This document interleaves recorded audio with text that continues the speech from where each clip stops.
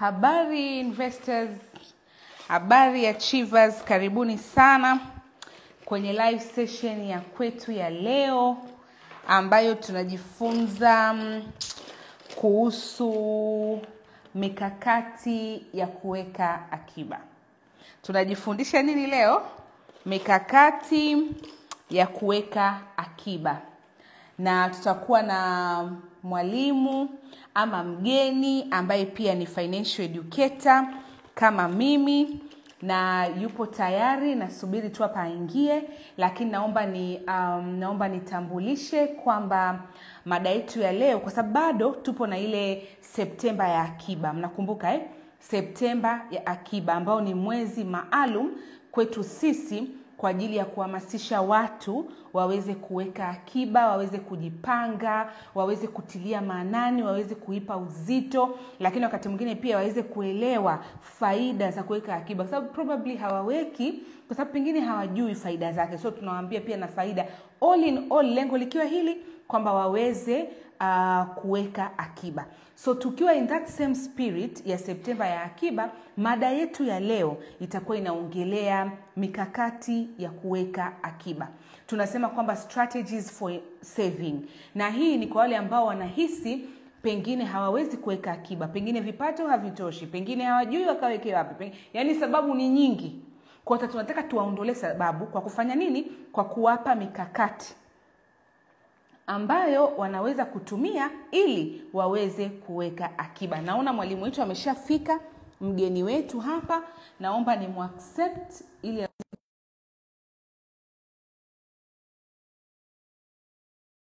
if you, you love writing na una pengine unahudhuria every monday unakuwa unapata uh, unakuwa unapata hiyo financial knowledge ya kila jumatatu wakati wa the finance monday. Kama unaandika basi kichwa cha habari ni mikakati ama mbinu za kuweka akiba. Of course naomba tumkaribishe mgeni wetu aweze kujitambulisha alafu tutaendelea. Miriam. Yes, nakusikia. Habari za usiku. poa poa poa tunaomba ujitambu- ujitambulishe ile official tuweze kujua mwalimu wetu leo anaitwa nani Ah, Asante sana. Kwa majina naitwa Miriam Geoffrey na lako kitaka naitwa Miriam Geoffrey Bukuku.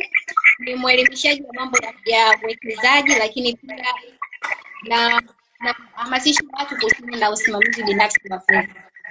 Mhm. Kuna kuna kuna kuna kelele tunazisikia. Sijui naona kama okay, naona, naona kama kuna kama kakelele hivi tunashindwa kukupata vizuri lakini Okay. kama pametulia sijui. Naona hivi Eh, pametulia. Okay, asante sana.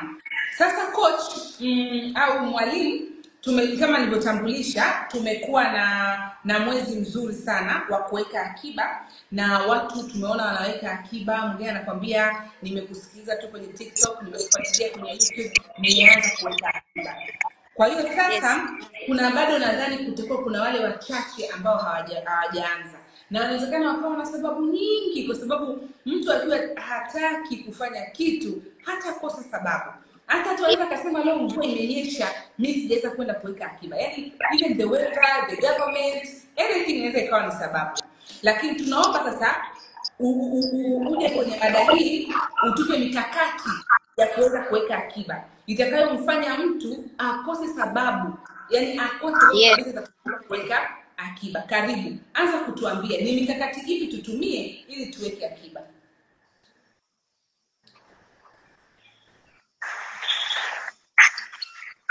Mnanisikia? eh, Eh?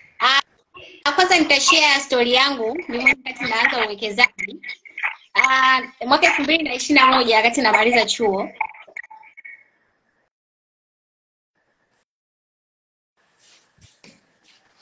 Ni changamoto uh, ilikuwa muda. Mhm. yes, changamoto kubwa unakuwa unajua katika umuhimu wa kufanya akiba lakini unakuta una mambo mengi hauna mpangilio maalum. Kwa hiyo unaweza kukuta mwezi unaishi haujafanikiwa kutunza hata elfu moja. Lakini kabisa inabidi ni akiba.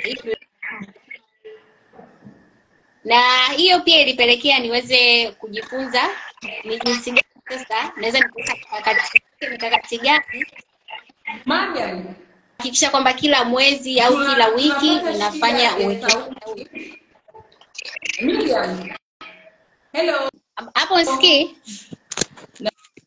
Naona ki, tunapata shida ya sauti, sijui what is wrong. Ni ni, ni simu, I don't know, kuna kitu yani sauti sijui inafanyaje. okay. ngoja nitoke mara Haya, please do. Ili tukusikie vizuri. Naomba tumpe muda kidogo aweze ku kama atatoka na kurudi tena, lakini tukiwa tunasubiri aweze kurudi, maana sauti yake ilikuwa kidogo haisikiki. Nilikuwa naomba kujua, naona mmeingia wengi. Adija Rungwe, thank you so much for coming. Meneja Yulitha Revocatus, naona kuna Daniel, kuna Mo, Moha Life na kadhalika. Please naomba mtuambie nyinyi mna, mna, mnaweka akiba na kama hauweki unafikiri kwa nini hauweki? Wewe una sababu gani? Maana leo tunataka tuje na antidote ya hizo sababu, tuje na, na mwarobaini wa hizo sababu, tuwaambie kwamba no, no, no, you can, unaweza unaweza kuweka sababu, unaweza kuweka akiba. Yaani ukitafuta sababu, hata kama unalipwa milioni kumi kwa mwezi, hautaweka akiba na bado utasema kipato hakitoshi. Lakini ukiwa na nia, hata konda konda wa daladala unaweza kukuta na akiba yake. Mimi nimeenda sokoni pale pale Ilala, nimeongea na wale wafanyabiashara, nakwambia kuna siku kweli nakosa kabisa, lakini sio kila siku. Kuna siku napata vizuri sana na naweka akiba. Kwa hiyo kumbe unaweza ukakosa siku moja siku mbili, fine, inaeleweka kibinadamu. Maadamu riziki hatuzipangi sisi, anapanga Mungu, tunaelewa. Kuna siku fulani fulani tunakosa hela, lakini sio kila kitu, sio kila siku. Huyu Mungu sio sio mbaya kiasi hicho kwamba kila siku wewe ndio upate. Sasa kama una vijisababu, leo tunaye mwalimu hapa atakusaidia kuondokana na hivyo visababu. Karibu tena. okay. asante sana Hapo is better. yes Mm. Karibu.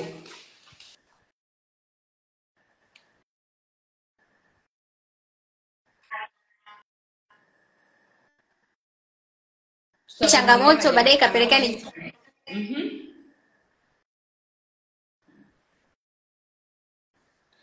Fanya uwekezaji labda kama ni kila wiki. yes au au kila wiki. Mm.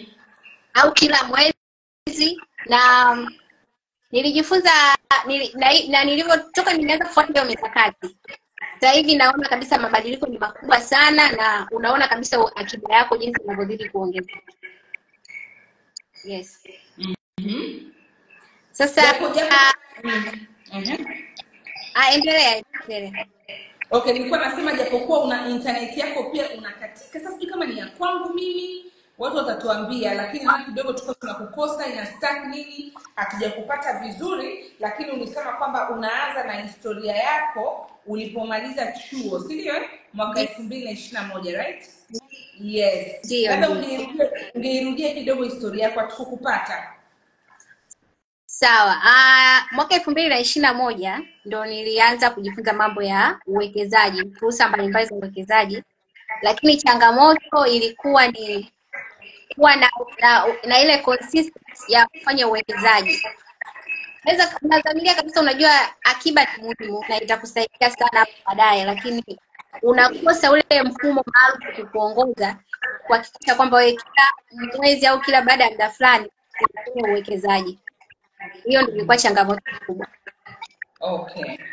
Sawa. Mm. Mhm. Sasa Yes, sasa hapa leo tuko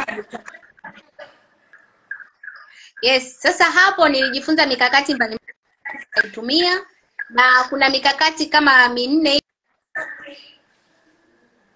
utakufaa na ukiufuata vizuri utaweza kufikia malengo Yes. Um, lakini pia tukianza kwanza akiba ni nini? Tunasema akiba ni ile sehemu ya fedha, kiasi fulani cha fedha ambacho tunakitunza ili kiweze kutusaidia baadaye, labda kwa malengo kujenga, kuna malengo ya kununua gari, unataka kufanya uwekezaji fulani, hiyo ndio sasa ili kufikia malengo ya akitaka unaitaka, unatakiwa uwe na mfumo maalum ambao utakulazimisha wewe kufanya uwekezaji kila baada ya muda fulani. Yes. Sasa kutokana na hizo changamoto, nadhani hata wengi pia wanapitia, na Tanzania sana sana elimu ya fedha. Sisi tumeshaambia kwamba unachokipata leo lazima ukimalize. Kwa hiyo kidogo mtu akiwa hata akijifunza umuhimu wa akiba anakuwa ana bado, kwa sababu kishazoea kwamba anatumia kila kitu. Sasa kujua ile tabia ya kuwekeza au kutunza akiba inakuwa ni changamoto kwake. Kwa hiyo leo na nitatoa mikakati minne ambayo mtu yeyote yule anaweza akaichagua na ikamsaidia katika safari yake ya uwekezaji. Okay. Yes. Mm-hmm. Yes. Kwa hiyo tukianza na mkakati wa kwanza kabisa, uh, unaweza wewe mwenyewe uka, ukaamua kwamba inabidi ujilipe kwanza. Wewe ukipata kipato chochote kile, hakikisha unajilipa kwanza. Maana ya kujilipa kwanza ni nini? Ni kwamba unaingiza laki tatu, labda ujaenda kulipia bili za umeme, kama ujaenda kulipa maji, kama sijui utafanya kile ya kwanza unatenga kama ni laki moja ni laki mbili unaitenga pembeni hiyo hela baadaye ndo unaenda kuitunza au unaenda kufanya uwekezaji. Huo hapo ni mkakati wa kwanza. Lakini pia ningependa kuongezea hapo. Watu wengi ukiwaambia kujilipa kwanza wanajua labda ni kwenda kujipa pole mwili wa- wakale vizuri. Yes. sasa sio kwa maana hiyo. Maana ya kujilipa kwanza kwamba unanunua una una unanunua uhuru kwa ajili ya baadaye. Yaani unatoa uhuru wako kwa ajili ya ya baadaye. Yes. hiyo ndo maana ujilipa kwanza. Ila si kwamba ndo sema ujilipe kwanza ndo utaenda utakula utamaliza hela zote. Yaani hiyo sio maana ya kwanza. Na njia ya pili mbinu ya pili ambayo inaweza ikatumika tunaita uh, unaweza uka uka ukamtumia mtu. Ambaye mtu mheshimu labda. Labda wanaanza pia kukuwajibisha kwa namna fulani. Au tunaweza kama ni accountability partner kwa hiyo huyo hapo unaenda kumwambia labda mimi bwana ni lengo la kutunza labda kwa mwaka huu milioni kumi au milioni moja. Ukimpa hilo lengo jana kwamba sasa kila mwezi labda nitakuwa naweka kiasi fulani. Kwa hiyo na unakuwa unafika kwamba mtu hautaki kuangusha yani utajitahidi. Kwamba kila mwezi unatunza una- vizuri na unamwonyesha progress yako. Na yeye pia anakufuatia yes hiyo ni ya pili. Kuongezea uzito kidogo Ah, kuna mwingine anaweza akatafuta accountability partner alafu akakubaliana bwana, ukishindwa laki moja kwa mwezi. Itatakiwa unilipe labda elfu sitini. Kwa hiyo namwongezea mtu hamasa kwamba siwezi nikampa elfu hamsini.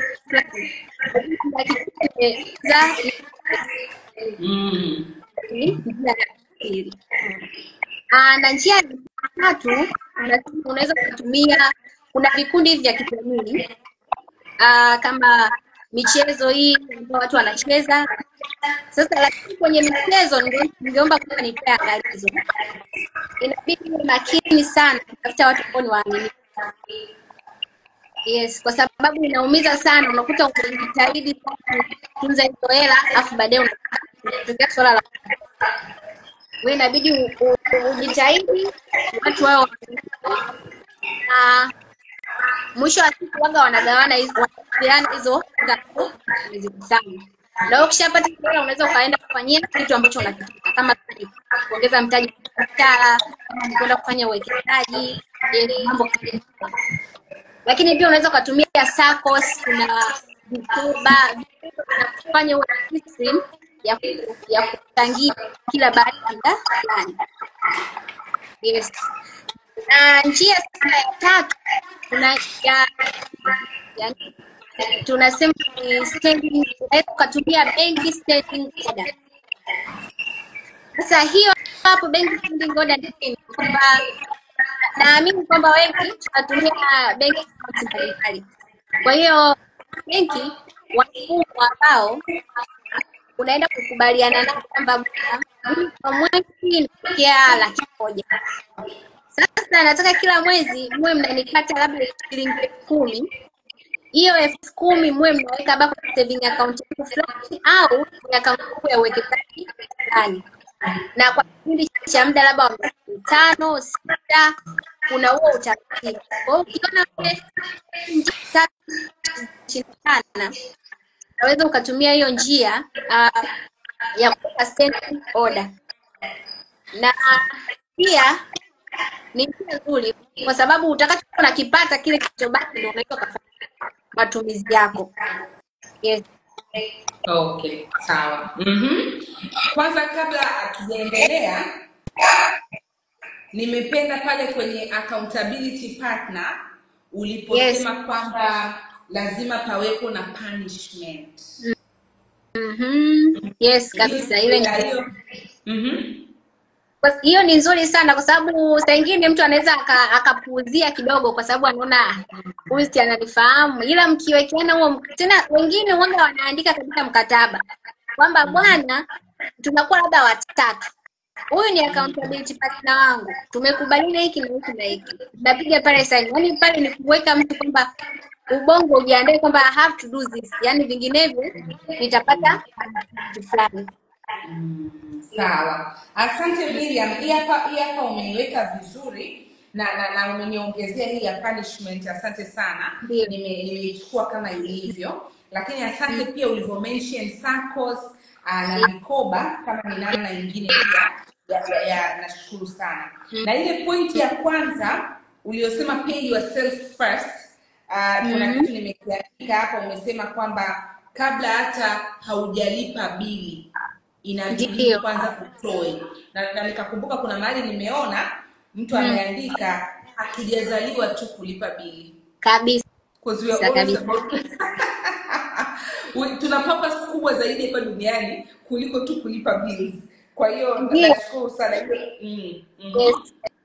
na hiyo uh, watu tunajinyima sana. Yaani unakuta unafanya kazi lakini ha, unajikuta hadi unazeeka. Yaani wengi wa tanzania unafanya kazi hadi unazeeka lakini kumbe ulikuwa una uwezo wa kujiandaa mapema ili baadaye angalau una uwe baadaye na uhuru hata wa kucheza na wajukuu upunguze kutoa laana laana hizi. Kwa hiyo tujitahidi kufanya maandalizi mapema.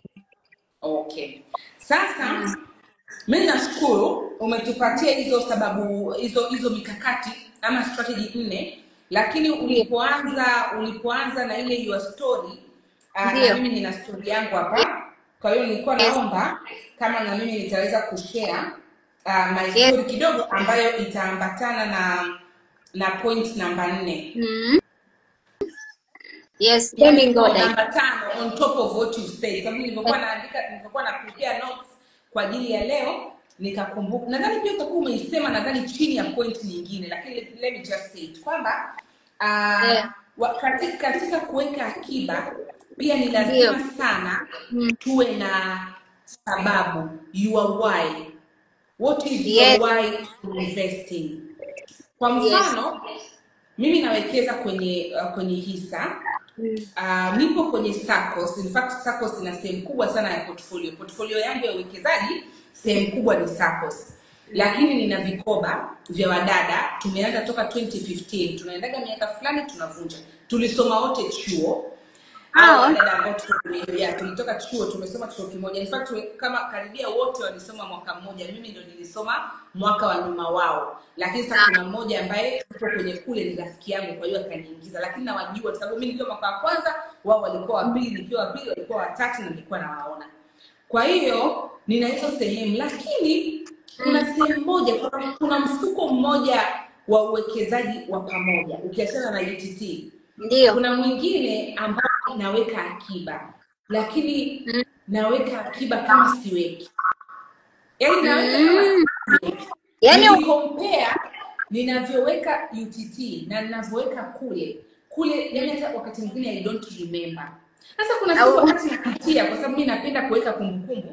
Nikiwa na review my, my investing ndo nikawa najiuliza hivi kwa nini huku mimi ni mzito? Nikagundua sikuwa na sababu ya kuweka kule mimi nilisikia tu tena nyuma kidogo huko nilisikia tu nikasema siku napita karibu hapo posta katikati nikasema hivi kwa nini siingie nilisikia wako hapa kwa hiyo mimi Eh. niliingia alafu uzuri niliyemkuta alikuwa na customer care nzuri mathalan angekuwa na customer care mbaya mimi ningesema why to help, lakini akanipokea vizuri yule kaka akawa na customer care nzuri sana akanihudumia vizuri. Kwa hiyo nikajikuta pale pale tumekaa kwenye deski lake. Kuangalia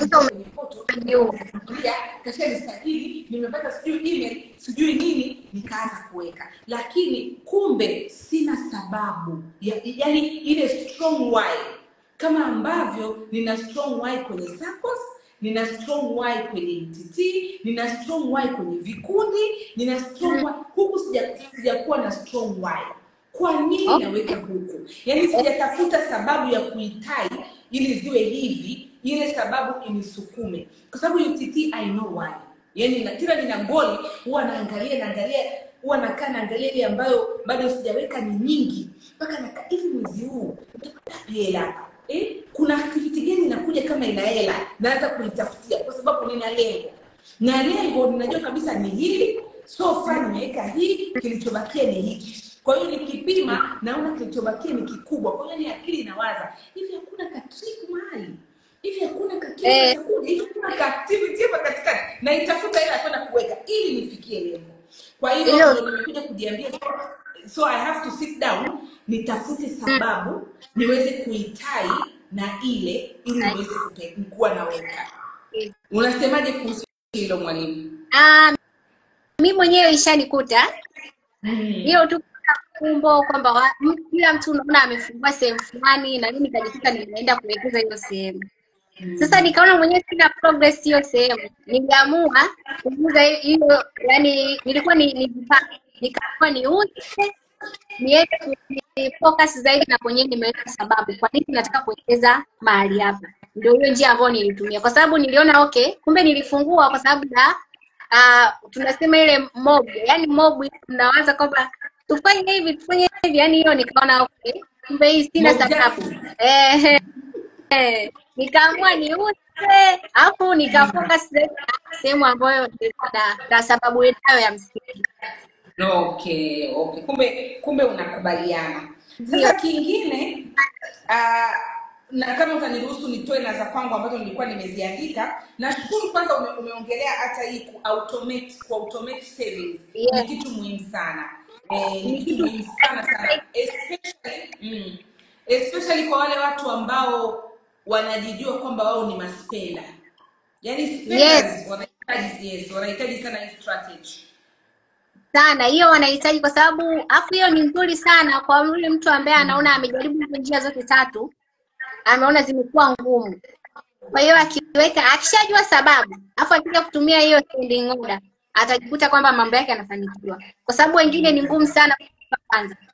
Na changamoto nyingine uh, unakuta yani fedha zilivyo zilitengenezwa ili zizunguke kwenye mikono ya watu. Yani fedha haina tabia ya kukaa yote ili lazima ifanyike.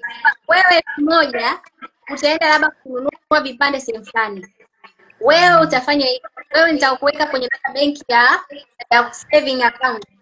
Ila usipoipa hiyo sababu ikitolewa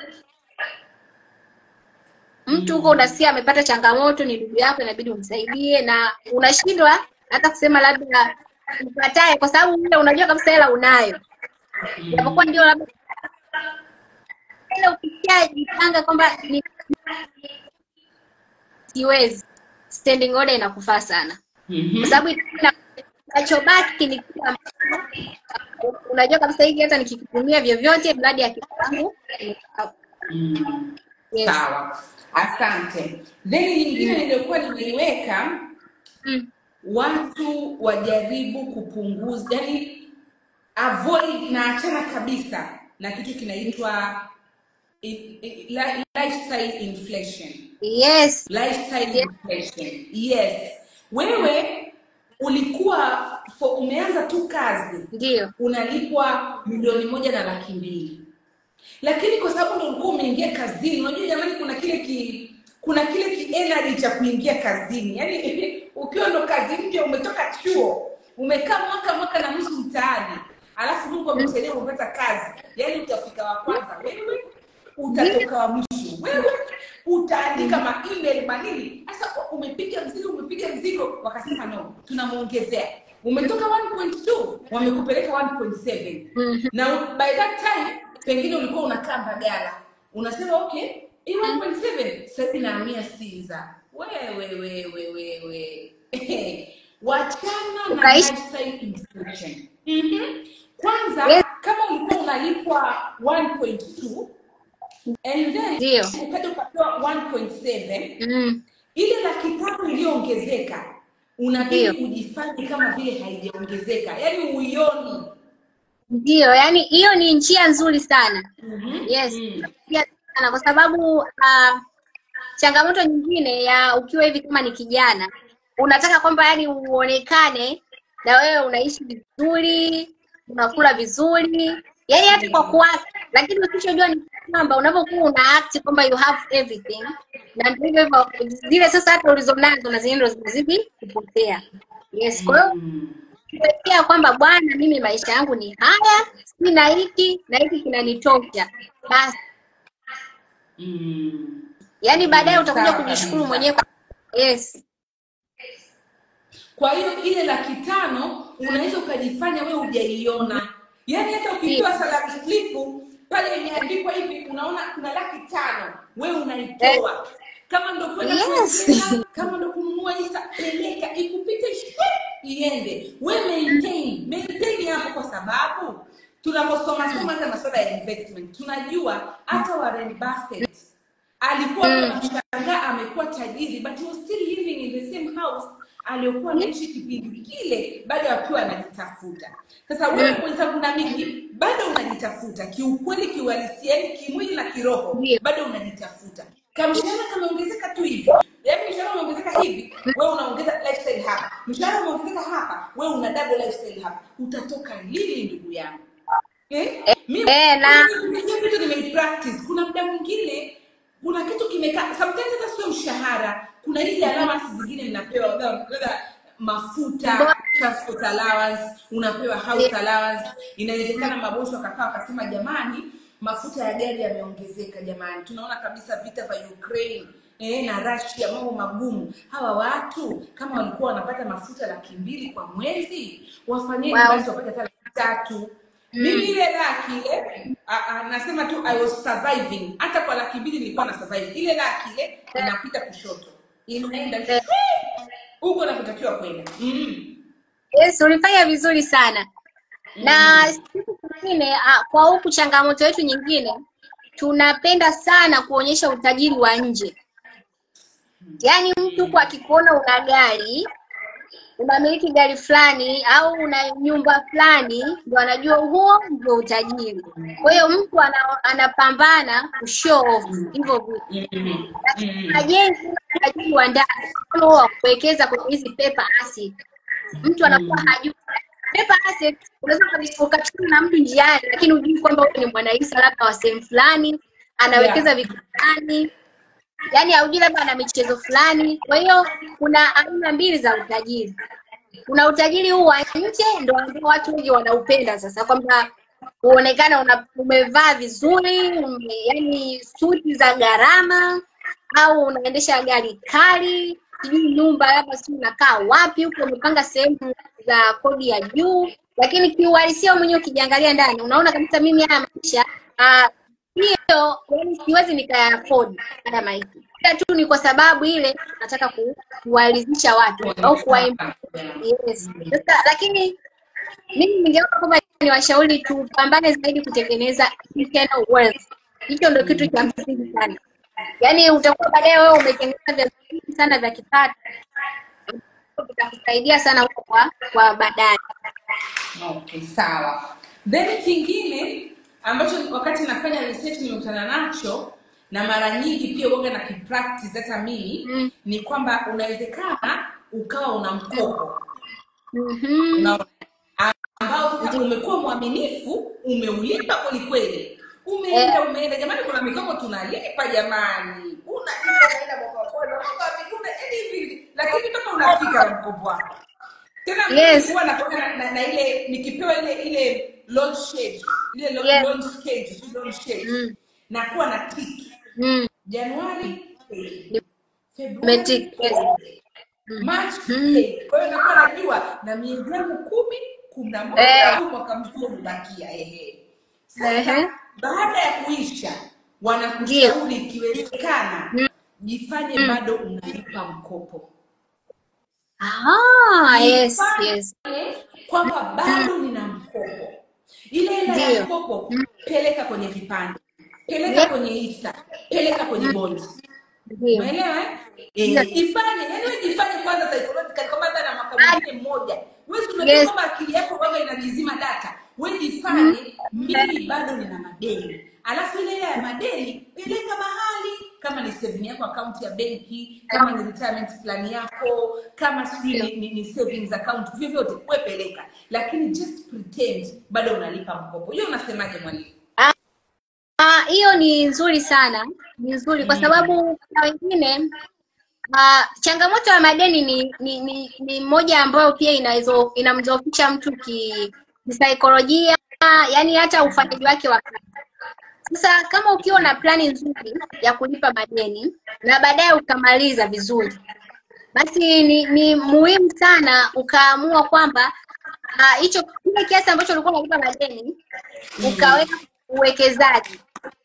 okay Ukiweka kwenye uwekezaji itakusaidia sana, lakini pia um, kwenye huo huo uwekezaji unaweza pia ukatengeneza emergency plan fulani hivi, ambayo hiyo itakusaidia hata kama ikitokea kitu chochote, ili kukuepusha tena usikope kwa sababu labda ya mm. kukosa akiba. Kwa hiyo ni muhimu sana ukimaliza kama kulipa madeni utengeneze angalau kamfuko ka dharura, lakini pia Mm. na upande uwekezaji. Hiyo itakuepusha pia na madeni. Mm. that is correct Mm. and then kingine na ambacho pia nilikiona wakati na, na, na wakati na nafanya uh, kujiandaa na session Mm. uh, Mm. umesema hapo kwamba tulipe which is good eh? tulipe yani tu, tukimaliza kulipa tukafanye hayo mengine lakini kuna ambao pia wanasema Mm. tu kadri ya uwezo Mm. tuachane na mikopo Mm. tuachane na, na madeni hiyo unasemaje kama mikopo tu yenyewe kama mikopo na madeni Mm. Kwenye uwekaji wa akiba kuna vile inatu inatushekisha hivi inatuyumbisha hebu tuambie zaidi Ah, ah, sasa mikopo kwanza kabisa inabidi uwe na elimu sana ya kuhusiana na mambo ya mikopo. mm-hmm. Changamoto kubwa ni kwamba watu wengi wanachukua mikopo bila kuwa na mkakati ambao utamuongoza yeye kwa ajili ya kutumia hizo fedha. Mm-hmm. Unakuta mwingine amechukua mkopo milioni thelathini na ndugu huko amesikia kwamba ana hela hapo hapo ana mkakati wa hata kama wakimwomba kwa sababu hajui hizo fedha afanye nini, yani hana ile nia ya dhati kwamba inamuongoza bwana, kote kufanya hiki. Kwa hiyo unakuta baadaye anatoa hela ovyo, au na yeye unakuta basi lazima yeye bwana ana hela. Sasa inabidi kwanza uwe na elimu nzuri, kwa sababu mikopo inaweza ikawa ikakusaidia kwenye kukuza uchumi wako au ikakukuruza. Ukichukua mkopo, jua hayo kwamba ukicheza vibaya utakuburuza, ukicheza nao vizuri utakuongezea ah, kama ni biashara kuweka kuwekeza, lakini pia nashauri usichukue mkopo wakati kuanzisha biashara, kwa sababu biashara ina hatua mbalimbali. Hiyo wewe cha kufanya chukua kwa ajili ya ku- kukuza mtaji, yaani umeshaanza biashara, umejua changamoto zote, kwa sababu hiyo wapo ndo mtego mkubwa sana. Unakuta mtu anakwambia mimi nataka kuchukua mkopo nikuanzishe biashara fulani itanisaidia sana, baada ya miezi fulani labda nikienda China nakuwa napata faida labda milioni mbili. Hujaifika China, hujui yani chochote kile, hujui gharama zikoje, unachukua mkopo baadaye ukienda, kwa sababu hiyo ni final stage, yani ni, ni initial stage kabisa, au hujui chochote, hujui changamoto, na hiyo yote ni kwa sababu? Ya mikopo. Kwa hiyo mikopo au wawasiliane na watu ambao ni kwa mfano yes, hata sisi tukianza na sisi wakiwasiliana na sisi tukiwasiliana na Madam Finance wote wanaweza kuongoza vizuri ili uweze kuchukua kufanya maamuzi makubwa kwenye mambo ya mikopo. Mm, sawa kabisa sawa kabisa sasa kingine pia na, na, na, na kimention na kukumbusha alafu utakijazia nyama najua kuna watu hapa wanataka kuweka akiba Yes. na, na pengine tulishasema hiyo sababu wamezisikia lakini mwingine hana mpango hajui aweke kiasi gani. Kwa hiyo nikaa nimesema kwamba watu watumie budgeting au budget rule ama wanasema the, the, the, uh, wanasema the rule of thumb. Wawe na the rule of thumb. Najua wengi wanaijua ile 50 30 20 Yes. lakini najua pia unaweza ukaitumia ile kutengeneza ya kwako wewe kulingana na kwamba unataka nini. Hebu iseme kidogo budget Ah, sasa kwenye budget na uzuri sasa hivi kidogo tuna kuna njia simplified zaidi kwa sababu Yeah. watu wengi tunatumia smartphone.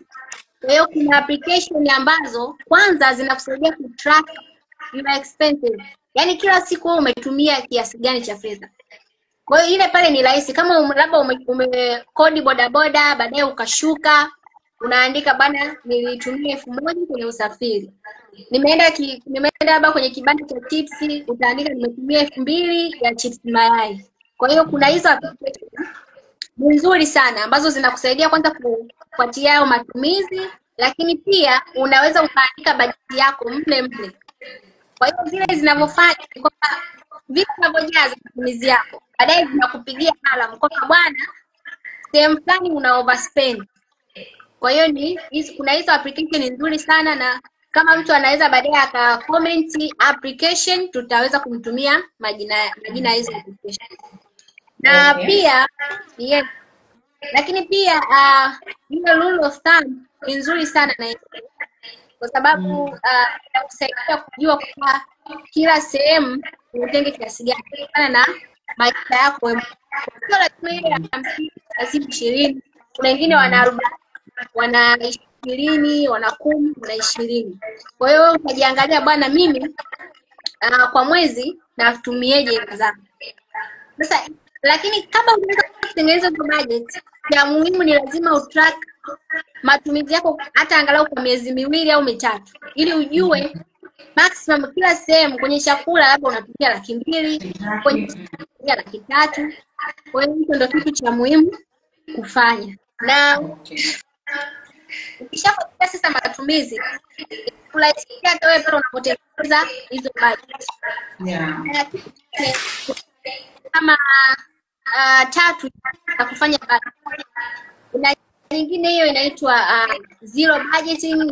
Kila hela yako utaipangia kazi ya kufanya. Unapika hii elfu kumi ya kulipa mchezo wa mama mwalimu, hii elfu ishirini ya kulipa bili ya maji, hii labda ya kulipa uh, kodi. Kwa hiyo kila kitu kinakuwa kinaenda uh, umeshakiandikia, kila hela yako umeiandikia jina, hii inatumika wapi. Aina ya budgeting nyingine ni kwamba mtu uh, ana, anaamua bwana, mimi kwa mwezi nitaweka asilimia ishirini na tano ndo nitakaowekea unatunza. Kwa hiyo atatoa labda kwenye milioni moja atatoa hiyo asilimia ishirini na tano akishatoa kile kinachobaki sasa hata ikiisha kati ya mwezi sijui, ila mimi nimeshatoa kile ambacho inabidi nitunze au. Yes, kwa hiyo kuna njia kama hizo, na nyingine ndio ya kupanda kwa asilimia. Mhm. Sawa. Na nyingine ni nzuri ambayo naona pia itawafaa watu ambayo ndo mimi napendeka kuipatia ile ile kauli mbiu kwamba hata elfu tano inawekezeka. Watu Yes. wanapenda wanapenda kudharau loose change. Mm. Kuna mia tano hapa, kuna mia mbili hapa, katupa tu. Sometimes inawezekana hata kwenye gari unampaga hata mtu anakuta anachukua, mara umeisahau tu mahali ya kazi anachukua, mwanao siku hiyo anataka kununua mabando unaziongea unaziongelea Eh. hizi loose loose change, loose change, hizi change, keep your change, keep change. Yes. Unaziongeleaje? Uh, yes. Uh, na wasiokijua mimi nilifanyaga kidogo jaribio na mimi la kujua hivi hivi zihela ndogo ndogo ninaweza zikafika wapi. Nilikuwa ni hiyo changamoto, labda umepanda daladala konda umempa labda elfu moja inabidi rudi mia nane lakini unamkalia kimya kwa sababu unaona hii ni mia mbili tu umeenda au, au umeenda sokoni mtu mia imebaki mia si mia mbili unaamua Unamwachia. yes. Sasa mi nikaamua bwana, nikakata kikopo cha maji kile Mhm. kile kikopo, nikawa nakutanya chenji zangu zote mia mbili mia mbili hamsini hamsini mia mia.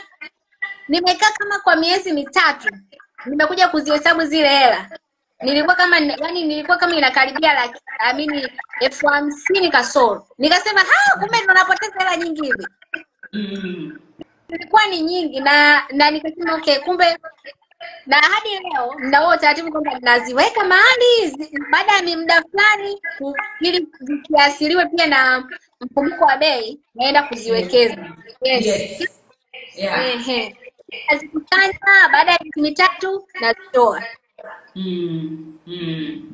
Na, Ambayo- na, kweli kwa sababu hauwezi kwenda kununua kipande au hisa ya shilingi mia mbili na nimeandika unaweza ukazikusanya. Kama ni kwa wiki au ni kwa mwezi Mhm. zikisha kuwa ishirini thelathini ili kuendelea kuokoa kupambana na inflation unawezekana Yeah. usisubirie kama mwalimu ikafika elfu hamsini unaweza Yeah. ukaenda tu kwa shilingi elfu ishirini thelathini ukanunua kipande Yeah. ukaenda ukaweka ukafunga hesabu ya mwezi ukaenda ukaweka mm-hmm. lakini loose change ni za kuziheshimu sana sana kwa hiyo kuna watu walikuwa wamecomment hapa ndo nilikuwa naomba tuwahendo hawa ambao wamecomment huyu anasema mimi natunza lakini sina consistency kuna mtu amesema hapa anaitwa Yulitha Amesema mimi natunza anaweka akiba au anatunza fedha lakini hana consistency ah, okay. mm. Um, nadhani hiyo cha kwanza itabidi ajue kwa nini ana ameamua kutunza hizo fedha. Kwa nini? Yes. Na njia ya pili, uh, Yulita, Yulita namfahamu ni classmate wangu. okay sawa Kwa hiyo na, naweza nikawa accountable partner wake nikamkumbusha kila mwezi kutokana na kiasi ambacho yeye ameamua kukiwekeza. Naweza nikawa accountability partner wake, lakini pia njia zingine ni kama hiyo ya ya kuautomate anaweza akatumia. okay sawa kabisa hiyo itamsaidia kwa sababu wanasema mashine mashine haisahau. On that due date tick, mashine yenyewe na consistency kuliko sisi Yes, yes. sawa. Mm-hmm. kuna mwingine hapa amesema accountability partner ameipenda. Huyu naye namfahamu ni classmate wangu nimesoma naye masters anaitwa Okay. Hadija kwa hiyo Hadija amesema amependa sana hiyo uh, ya, ya accountability. Sasa Hadija nani atakuwa accountability partner wako? Mimi naomba asio mme wako sijui nani? Unajua kuna zile bendi bwana mtaweka bendi. Yeah, inabidi sasa hiyo tunataka mtu kauzu. Eh, yani inabidi inabidi accountability partner wako kwanza na yeye hayo anasimamia malengo yake vizuri, kwa sababu kama mtu Mm. wewe mwenyewe cha kwanza wewe anaweza kusimamia vizuri, lakini pia Okay. kuwa kuna muda akiongea hivi serious, unajua kabisa hapa kweli inabidi niwe serious. Kwa hiyo ni muhimu hivyo Yeah. ulivyosema kwamba asiwe partner wake, kidogo anaweza akasema bwana, tutafanya mwezi ujao, atafute mtu wa nje kidogo ambaye atampush. Yes. Ni kama ni kama wanavyosemaga Yeah. Uh, kama kama mtu akiwa ana especially mwanamke Mm. akiwa anajifundisha ama anataka kufundishwa driving aweze kuendesha gari Mm. japokuwa mume wake anajua lakini mara nyingi sio sawa mm. na mume wake kwanza watagombana ataambia Lazima. "Unahitaji breki ah mbona wewe uniambii polepole ah ah sasa pale hakuna cha polepole sasa pale nimejaa Yeah. watu ah. kwa hiyo inabidi awe mwalimu ambaye anakupeleka Kariakoo alafu Eh. anakuambia sogea nenda nenda hivyo otherwise mume wako mtasoma mwaka mzima na kila siku mtanuniana Yes, changamoto. Eh, Inabidi ana- anakusimamia kweli kweli. Eh, ndio ndio sasa utasaidika otherwise akikuchekea hautajua kuendesha gari miaka inakatika tuwe uendeshi gari. Hawezi kujua. okay. Mm. lila alikuwa anakubalia tu anakubaliana anasema very true. Takuwa kuna point tulisema akawa anaiunga mkono. Lakini nimeona kuna wengi wameulizia app. Wamesema yes please share the application names kama unazijua. Kwa sababu pia hadija ameulizia hapa application masi ameulizia applications. Okay. Baadhi Ah, ah, okay kuna application kwanza kuna application ya hapa tanzania. Mhm. uh, imetengenezwa developer wake ni wa hapa hapa tanzania ndio ambaye anaioperate. Inaitwa mipango app. Na yenyewe ni nzuri. Yes. Okay. application ya pili inaitwa money love. Hiyo ya pili. Na application ya tatu inaitwa wallet app. Hiyo ndio ambayo mimi naitumia na iko vizuri sana Jamani mwalimu fanya summary fanya summary tena Titi, titi, titi, kwa kuzitaja okay. uh, kuna mipango kuna wallet app na money lover sawa tutakuwa mmesikia ndugu zetu akina hadija na wengine mmezisikia na wanazipata play store ama kwenye app store eh? kokote kule zinapatikana lakini uh, kama mtu akipata changamoto anaweza akaja hata DM akikutafuta oh. au aki- mimi nitamuonyesha hizo icon zake zinavyokuwa kwa sababu kunakuwa kidogo zinachanganya yes. sawa Mm. sawa sawa sawa na kama na kama bado hujamfollow mariam uh, page yake inaitwa the bold financial community? Yes, ina inapatikana kwa jina Miriam.Geoffrey au ukiandika Financial Board Community. community yeah alafu unaweza ukamdm akakutumia mpaka na picha ili uweze kujua hipi ni ya Yes. kweli Mm. hipi sio adija amesema i think mam usimchukue usimchukue mme wako adija akawa nanili thank you masi anasema thank you so much linda pia anasema thank you so much kwa hiyo naona kabisa Yes. kameenda kuingia for one hour lakini kingine what do you say about nadhani kuna ile unajua tumeongelea lifestyle inflation lakini Mm. pia kuna ile hata mshahara uliongezeka lakini ni mtu tu ana matumizi makubwa yani expenditure kubwa tunafanyaje huyu tunamwambia afanye nini kwenye mambo ya expenditure Um, hiyo hapo saa ingine inatokana na mtu yeye tu kwa alivyo, ni kwamba yeye ni bad, ni bad spender, yaani ndio yuko yes. Lakini saa ingine inakuwaga wanasema ni tatizo la kisaikolojia. Yes. Unakuta mtu ali, ali, ali, kwenye childhood alivyokuwa ile zile experience labda nyumbani walikuwa wa- hawali wali sana au hawanunulii nguo mpya mara nyingi. Kwa hiyo kila hatua ana, ana, amini anapata kipato chake, yaani ni kama moyo sasa. Yule mtoto wa ndani anaanza kumwambia bwana, inabidi sasa hapo tununue nguo, inabidi labda tuende sehemu fulani. Yes, inakuwa hivyo sasa. Kwe- kwe- Kwenye hiyo shida inabidi mtu yeye mwenyewe ajue kwamba mimi ni nini hasa kinachonifanya niwe na spend hivi. Rafiki, ya marafiki. Kuna marafiki ukiwa nao unaweza ukajikuta umetoka hivi au labda ukijipanga kutumia hela sana, lakini unajikuta umerudi nyumbani hauna chochote. Kwa hiyo mm -hmm. cha muhimu kujijua wewe, kwa nini una spend hivi. Ukishajua sababu ndio itakusaidia kusolve. Unaweza ukawa unajua labda wewe ni spenda hivyo, kumbe ukikumbuka utotoni, utotoni huko ulikuwa una kuna vitu ulikuwa una kwa hiyo ikakufanya wewe kwe kishakuwa hivi unaona sasa yani inabidi niwe na kila kitu sasa kwa hata mshahara ni mdogo lakini unaona lazima niwe na kila kitu na watu hao mara nyingi ndio wao wanadumbukia wengine kwenye madeni kwa sababu anataka kujiulizisha kuulizisha wake sawa yes. Yes. Uh, Ah, As- kingine ah, ah, sio vibaya kujispoil. Sio vibaya kabisa. Yes. Unaweza labda ukawa umepata hela hela fulani. Sio vibaya wewe na familia yako mkaenda ku kidogo kujipumzisha na kupata furaha. Yaani hiyo hela ambayo sasa unataka kufanyia hivyo hakikisha una unaitunza na yenyewe yake taratibu unafanya kwa kukurupuka ukifanya kwa kukurupuka ndio utaishia kukopa watu au utaishia kutumia hela ambayo hukupata kutumia hiyo mahali huko kwa hiyo sio vibaya kuenjoy. Kama unataka kusafiri anza kutunza taratibu. Kama unataka kununua nguo kwa ajili ya familia yako au wewe anza kujitunzia. Labda utasema okay mwezi wa kumi na mbili nitajinunulia labda gauni nne labda viatu fulani. Yes. Kwa hiyo sio kwamba ndio jinyime jiwekee muda wa kupata hivyo vitu sawa e, elizabeth mwangosi anasema ni wakati upi mzuri kuwekeza ukiwa na madeni au umalize madeni ndo uwekeze au viende sambamba Mm, kwa hapo sasa nitakushauri kwamba inategemeana kwanza na kiasi cha madeni ulicho nacho, ila hamna kitu kizuri kama kuwa huru. Yaani hata kwenye Biblia imeandikwa kwamba ambaye amemkopa mwenzie hela ni mtumwa. Kwa hiyo mm. fokasi yako kubwa iwe kwenye kumaliza hayo madeni, labda kama kiasi kidogo unawekeza, au unaweza ukaweka yote kwamba kiasi fulani nitakuwa nalipa tu madeni, yakishaisha nitaanza kufanya nini, uwekezaji. Ila ushauri wangu ni kwamba pigania uhuru wako, yaani uwe huru, usiwe chini ya unamfanyia mtu kazi. Mm. mm sawa. Miriam mi nakushukuru kwa kweli. Tumewapa points kumi na moja. Yaani kama kuna mtu alikuwa anaandika tumewapa points kumi na moja.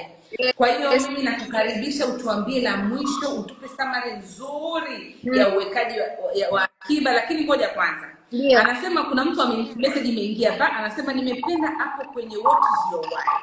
I think mm. this is more why. We need special lesson.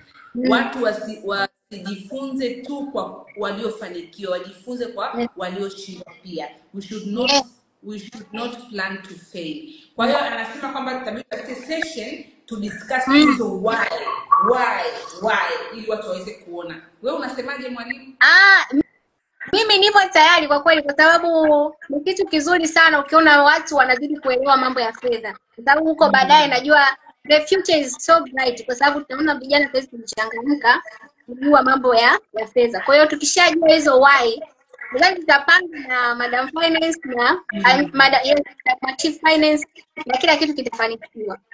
Sawa, na tena na- nabidi ni noti hapa kwamba topic watu wameomba kujua uh, what Yes. is your why? Your why, yes. why, ndio eh? Mm. Sawa, no problem. Kwa hiyo karibu tupatie uh, Linda, iwapo umesikia, just stay tuned. Uh, itakuja hiyo session, lakini mwalimu, karibu tupatie summary nzuri, tufungie, tumalize. Okay, sasa um, kwa kumalizia, kwanza tunashukuru sana kwa kuwepo kwenye sesheni hii na tunashukuru kwa maswali yenu. Inaonyesha kabisa kwamba mpo tayari na mna hali ya kujifunza na kujiokoa kifedha. Kwa hiyo uh, hatua ya kwanza kabisa, kama wewe ndio umeingia kwenye swala la uwekezaji, muhimu jua madeni. Kama una madeni yajue yote. Kama una mm-hmm. madeni mali zako zote kwanza ujue ili ujue kwenye hali gani ya kifedha. Kitu kingine, fuatilia matumizi yako. Ujue -hmm. kwa kila mwezi unatumia shilingi ngapi, kisha andaa budget. Budget ni muhimu. Na budget zipo za aina tatu. Kwa hiyo nadhani uki, kama ukimfikia mtu yoyote kati yangu mimi na Madam Finance atakuelekeza Yes. hizo budget. Sio kila bajeti budget ni kila mtu, kwa sababu kwa mfano kuna hiyo ya kupangia kila hela yafanye kazi yake, wengine inakuwa ni ngumu, lakini kuna option mm -hmm. yes. mm -hmm. Na session ya leo ilikuwa ni ya muhimu sana. Kati ya hizo njia nne, ambayo njia ya kwanza ni jilipe kwanza, njia ya pili ya uh, pending order, njia ya tatu ambayo ni ya kuwa na accountability partner, njia ya nne ambayo ni kutumia hii yani uh, vikundi uh, SACCOS, vikoba. Hakikisha kwenye hizo njia na wewe unatumia moja ili moja yes, ili usaidie ku Mm. Hujawaambia platform yako na kuwaambia wakufollow, wakufuatilie. Okay, Ah, uh, sana. Kwa hiyo mimi naitwa Miriam Geoffrey kwa ambao mmefika sasa hivi, na page yangu inaitwa Financial Board Community. Ni, ni mshauri wa mambo ya utunzaji wa fedha binafsi, yaani usimamizi wako wa fedha, lakini pia kwenye fursa mbalimbali za uwekezaji. Kwa hiyo peji zangu natumia peji tatu. Instagram, natumia Facebook, natumia Twitter. I mean TikTok, sio Twitter. Na zote hizo ukisearch Miriam.Geoffrey au ukisearch Financial Board Community utanipata. Karibuni sana. Asante. Mimi napenda na nimshukuru Miriam ameongea vitu vya msingi sana na hata zile pointi za kumshtukiza nikaa namwambia akosi cha kusema kwa sababu ni mtu ambaye anapenda uwekezaji na wakati mwingine anatufundisha kutokana na experience yake anachokifanya kama kutumia apu kama alikuwa atumii waya akaona afunge kule kwingine maana bado haja- hajapata nini akaja huku. Kwa hiyo namshukuru sana kwa kuitikia wito namshukuru sana pia kwa kutupatia baadhi ya personal story na wanakwambia mafunzo mazuri is when you tell a story. Mm-hmm. Yes. and when you tell a story ambayo it's a true story. Kwa sababu mara nyingi watu watarelate watu wata, wataona kweli na wata, yes. Kwa hiyo nakushukuru na hata mimi pia nawaomba mtu mnifolo kama mjanifolo peji yangu ndo hii inaitwa Chief Finance. Kila jumatatu huwa nakuwa na mgeni. Last week tulikuwa na mkenya hapa. Leo tuna Miriam Dar es Salaam huyu. You never know. Hatukaa tuna mganda wiki ijayo lakini all in all tuna discuss fedha. Masuala ya personal financial management. Tuna pia tunapenda kusikia kutoka kwenu. Wakati wa session kuna watu wameongea hapa mwalimu kawajibu wengine wametupatia proposal topic ambazo wanapenda zifate pia be free tuambie unataka usikie nini unataka tuambie nini tutawaona pia next monday inayokuja lakini pia na darasa la mutual fund. Litakwenda kuanza tarehe moja mwezi wa kumi elfu mbili na ishiri na nne. If you want to be part of that class unaweza ukanitafuta kwa kuni dm nitakutumia uh, nitakutumia maelezo ili uweze kutujoin. Tutaenda kudiscuss vizuri sana kuhusu mifuko ya uwekezaji wa pamoja nchini tanzania. Basi Yes, kwa na- ehe. nilikuwa napenda hapo kuongezea kwamba uh, Tanzania tulikuwa tumeuzea sana mfuko mmoja Imekuja product nyingi, yaani wewe mwenyewe unasema okay, sasa nichague wapi? nichague wapi yani soko liko hivi Wote kwa na washauri jamani, muende kwenye hilo darasa tarehe moja. Mimi mwenyewe hapa tayari hapa ninajiandaa kulipia, sitoki kujifunza Madam Finance. Ndio eh, kwa kweli kwa kweli soko limechangamka na programu yetu iko very deep iko ziko modules sita. Yaani tunafanya module 1 module 2 module mpaka tunafika sita. Na huko kote tunafanya vitu Okay. vingi sana. Positive feedback tunapata ni nzuri. Watu wakishaelewa wakwambia kwa sababu tu- tukishakaa na wao kwenye ile group la darasa baadaye wakisha graduate wanapata cheti alafu wanahamia kwenye group lingine la Mutual Fund Investors Tanzania. Sasa kule wanapeana challenge. Kuna watu wanawekeza labda milioni thelathini one purchase mwezi huu milioni thelathini mwezi ujao milioni kumi na tano sasa watu wapi? Watu watu wafanyia lakini ukikaa nao chini ukawasikia malengo. Kuna mmoja aliniambia anataka lifestyle yake ije kulipwa ije kulipwa na mutual fund. Wow. yaani kipato chake cha mwezi ije kulipwa na mutual funds akashuka akanambia anataka kuja kupata kipato cha wiki. Baadaye akashuka akanambia anataka kupata kipato kwa kila dakika. Yaani anataka kujua every minute anapata shilingi ngapi. Akanambia "Eh." akanambia ndio wewe ulisikia mtandao wa wa, wa mta, internet ilikuwa ni instagram. Kuna siku instagram ilitokea shida huko kwao huko kwao. Mtandao haukufanya kazi kwa masaa kadhaa. Akaniambia hujasikia kuna watu walipoteza mabilioni? Kwa hiyo kumbe duniani kuna watu wana earn per hour. Watu wana earn per minute. Kwa nini sio mimi? Kwa hiyo malengo yake apate kipato Mm. ambacho anakitaka kwa dakika. Ili akipate kwa wiki alafu baadaye akipate kwa mwezi. Nikasema yo mambo ni fire mambo ni moto kwa hiyo niwaombe Na- sana kwa kweli na na, Na, na kitu kingine kwamba watu wasishike na hao wanaweka milioni thelathini wakadhani Mm. kwamba uwekezaji lazima uwe na hicho kiasi kikubwa cha hela. Mm. Kuna moja na ukawekeza. mm. Kwa hiyo ni hapo hii hii ufa- kwenye kuhusiana na Chief Mm. Finance atakufundisha hiyo mifuko ambayo unaweza ukaweka hadi shilingi elfu moja umeanza uwekezaji wako. Ehe. Yes. sawa kabisa nashukuru miriam kama mmaliza lakini nawashukuru zaidi pia mliojoin naona kidogo internet eh, bandwidth na kadhalika inasumbua ehe miriam umalizie Ah, nilikuwa naelezea kwamba uh, kuna fursa nyingi sana za uwekezaji. Unaweza uh, ukaanza hata na shilingi elfu moja kwa mfano mfuko huu wa yes kwa hiyo mfuko wa inuka ulioanzishwa nadhani ni mwezi huu. Yes. Yes kwa hiyo fursa unaanza na elfu kumi baadaye unaanza kuweka kuanzia elfu moja. Kwa hiyo mm. changamke tuchangamke tujifunze. Ishu ni kuchukua hatua. Yes. Mm. kwa hiyo na yote jamani Achieve Finance atakuelekeza vizuri deep kabisa basi mi nashukuru everyone thank you so much for joining us today Yeah. tumefikia hapo mwisho na nawatakia usiku mwema usiku huu ukilala please naomba ufikirie kesho wamke ufanye jambo kuhusu akiba mm -hmm. na tunaanza kuelekea kwenye tarehe za mishahara tarehe za mishahara ndio hizi. Najua imeanza kusoma tafadhali. Kwa hiyo naomba uende kwa hiyo anasema kazi nzuri sana ongereni sana. Asante sana my friend. Na tunawatakia Yeah. usiku mwema. Kwa herini i will see you kwenye finance monday ya next week. Na tutaendelea na mada yetu nzuri. Bye bye. Good night everyone. Okay thank you for joining. Bye